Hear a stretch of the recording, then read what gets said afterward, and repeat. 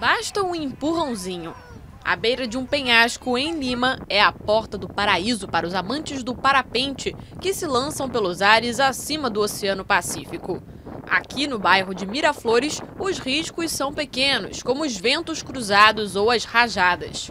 Peruanos e turistas consideram este momento uma forma única de contato com a natureza, quase uma experiência mística. Segundo os instrutores, o parapente combina adrenalina e uma sensação de contemplação, de felicidade. Uma atividade que também não tem idade. Aqui já foram vistos voar tanto uma criança de 3 anos como uma idosa de 93 anos, que saltou no dia do aniversário e foi recebida com festa e abraços dos netos. A maresia sobe pelo penhasco e a monotonia do deserto de Lima é quebrada com os parapentes coloridos que invadem o céu em tardes de bom vento como esta.